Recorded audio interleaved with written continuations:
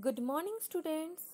Today we are going to recapitulate the first chapter of your grammar book that is sentences.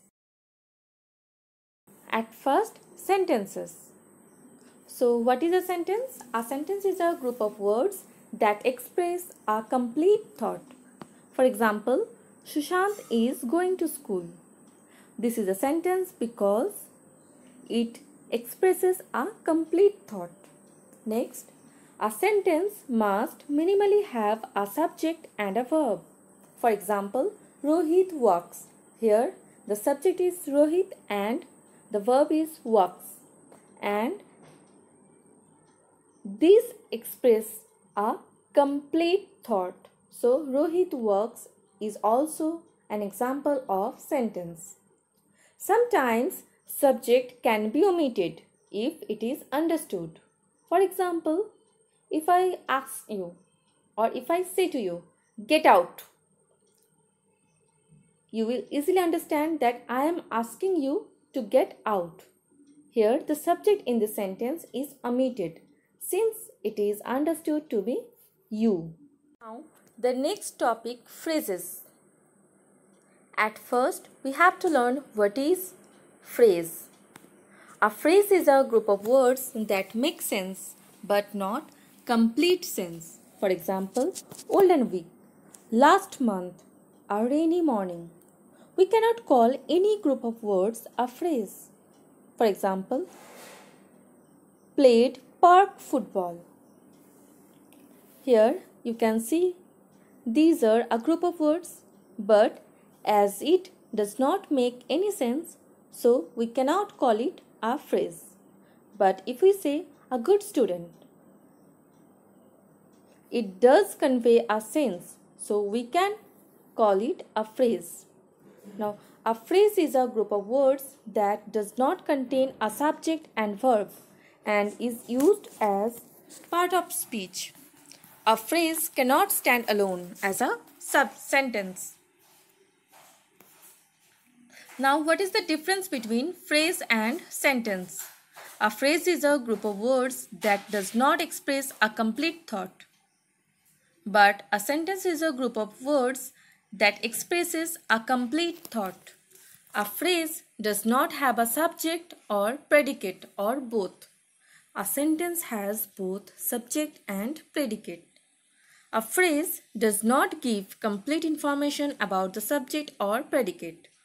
A sentence gives complete information about the subject or predicate. Next, parts of a sentence. Subject and predicate. Subject is the person or thing about which something is being stated. For example, John is a good boy. Who is a good boy? The answer is John. Here, John is the subject. So, identifying the verb, if we ask question using the WH words who or what, the answer would be the subject. Whereas the subject is the first part of a sentence, predicate is the second part of the sentence. Predicate says something about the subject. Leaving the subject, the rest part of the sentence is a predicate. For example, Rehan loves to play cricket. Here the subject is Rehan. And if we leave the subject, that is Rehan, the rest part of the sentence, that is loves to play cricket, will be the predicate. Right? Next, kinds of sentences.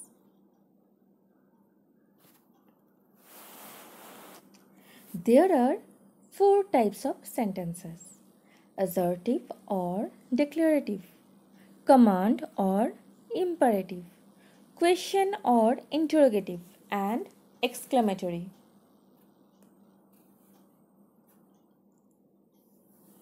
Simple or declarative sentences. These sentences are used to state information. They may state a fact or an opinion. They are the most commonly used sentence type. Most academic writing employs simple or declarative sentence. Declarative sentences end with a period. For example, research on the topic suggests that grammar is an essential to success. My essay is better than yours.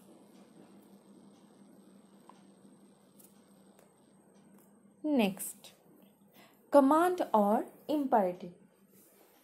Imperative sentences give a command, a request, advice, a suggestion, a warning, or a wish. They can be followed by a period, a question mark, or an exclamation mark.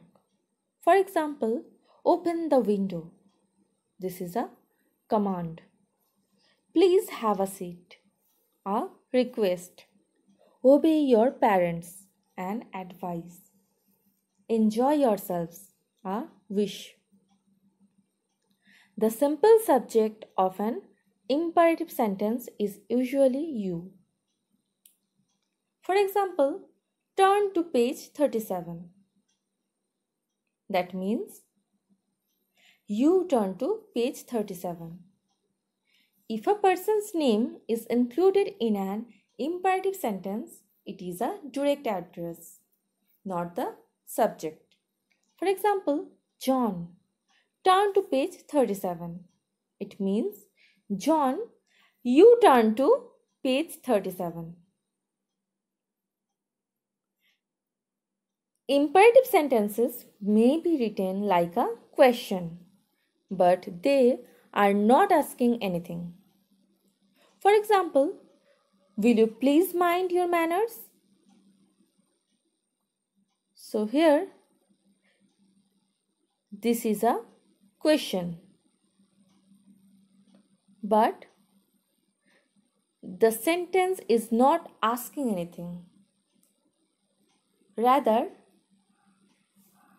we can say that it is a command so this is an imperative sentence but it is a question in form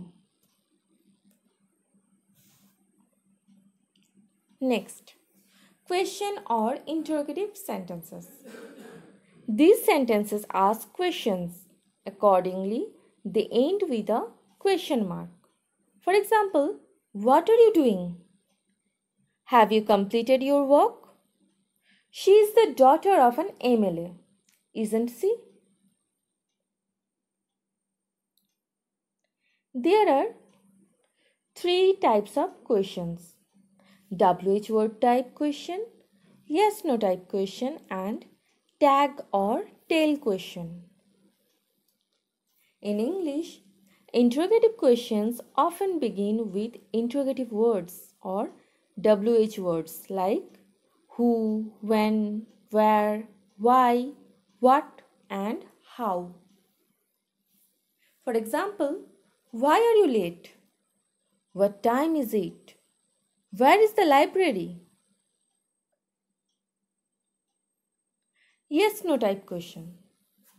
Interrogative sentences without WH words are generally formed by moving the helping verb before the subject.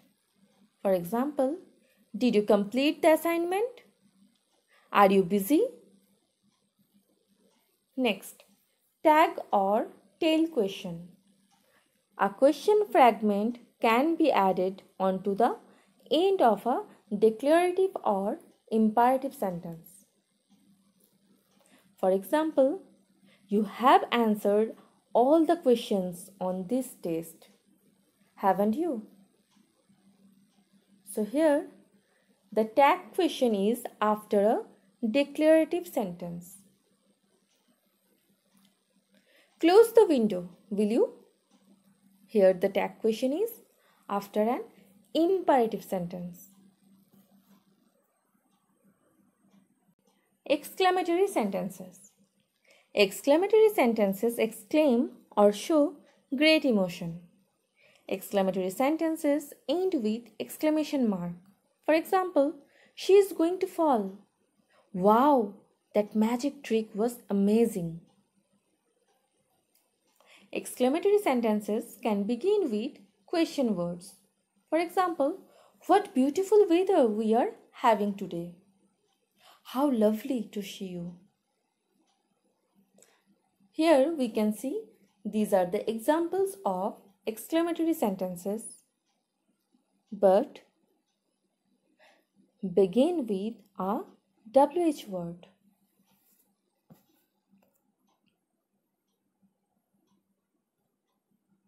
So children, keep on practicing from the exercise of your grammar book. Thank you. Have a nice day.